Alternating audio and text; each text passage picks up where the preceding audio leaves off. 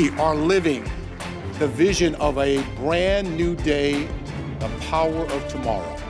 And when we look and we see how far we've come and we see what we have done, we got every right to feel proud. Welcome to the Executive Leadership Council's 30th Anniversary Recognition Gala. I am delighted with this occasion to highlight our common cause this evening. Please accept my enthusiastic encouragement for the continuation of your so extraordinary and so well proven endeavors.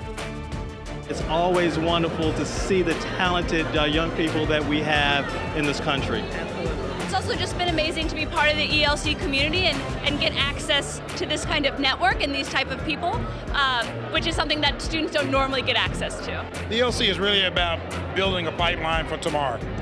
Nationwide is very proud to be part of this great event. Such a pleasure to stand here representing Verizon as the ELC celebrates 30 years. Very honored to receive the ELC's corporate award. And on behalf of everyone at Prudential, I'd like to thank ELC's leadership for this recognition. Support for tonight's gala funds our leadership development, scholarship programs, and our own community impact initiative, all helping us to build stronger pipelines. We consider our past 30 years as the prologue to our future. What we've learned on our paths in life, we must offer our individual and our combined experiences to assist those who follow our footsteps.